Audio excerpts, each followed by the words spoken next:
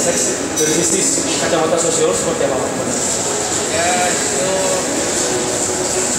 uh, masalah gay ini atau LGBT ya dari masyarakat tahu bahasnya puncak gunung es jadi sudah sudah banyak uh, sekali yang terjadi di masyarakat tetapi kebetulan mereka ini lagi kumpul ya pesta seks itu akhirnya terbuka.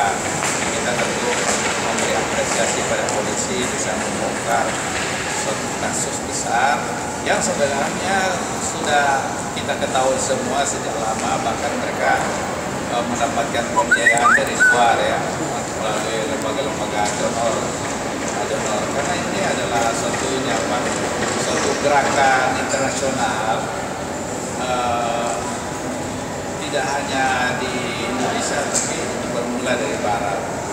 Uh, Amerika sudah mengadopsi ingin di Indonesia juga dilegalkan. Kan kalau Pancasila kita sudah memungkinkan untuk hadirnya LGBT di Kalau melihat Pak Indra sampai seks bukan hanya yang menyimpang tapi mereka juga sampai uh, dengan terang-terangan bisa seks sebanyak itu. Apakah ini bisa dibilang pergeseran moral sekarang? Oh ya memang ini terjadi pergeseran moral. Kita ini tengah menghadapi satu uh, persoalan besar di uh, kekuatan global intervensi Indonesia melalui perang candu narkoba itu kita tahu.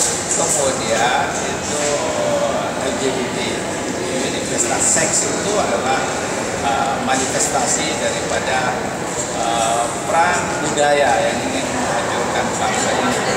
Jadi bangsa ini sedemikian rupa diperlemah, diperlemah dengan hal-hal yang sesungguhnya uh, tidak hanya bertentangan dari aspek adat, kebiasaan, kemudian uh, keyakinan agama, tapi juga sebenarnya ingin melemahkan mentalitas masyarakat. Bayangkan kalau perkawinan antar sejenis itu, pesta uh, sejenis, pesta seks sejenis itu, kan nggak mungkin orang punya anak. Kalau nggak punya anak tidak punya turun, kalau tidak punya turun tidak punya masa depan. Dan negeri ini bisa ter terjerembab ke dalam kehidupan itu. Karena itu memang kita harus uh, bersama-sama menyadarkan pada mereka mengingatkan pada mereka, pencerahan pada mereka dan membuktikan bahwa apa yang kita lakukan itu tidak sesuai dengan kultur bangsa Indonesia yang, yang religius ya. Nah, tapi ini tidak bisa uh, tidak harus ada kerjasama semua misalnya polisi mulai bagaimana masyarakat, bagaimana uh, pemerintah dan masyarakat termasuk media, media memberitakan ini banyak manfaatnya. Apa manfaatnya? Supaya masyarakat tahu ini ada kejadian yang sebetulnya tidak boleh, tapi nyatanya ada dan banyak sekali gitu ya. Tentu orang bisa melihat dari berbagai aspek. Dari aspek sosiologi jelas itu ada penyimpangan, tapi juga dari segi ini apa uh, ekonomi ada orang yang memanfaatkan keberadaan mereka untuk kepentingan ekonomi gitu ya. Uh, tetapi mereka tidak sadar apa yang dilakukan menghancurkan bangsa ini. Kenapa menghancurkan?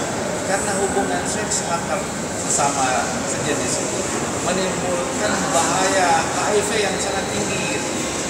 Satu, kedua, bukan ini merusak mentalitas, uh, kemudian moral masyarakat sendiri.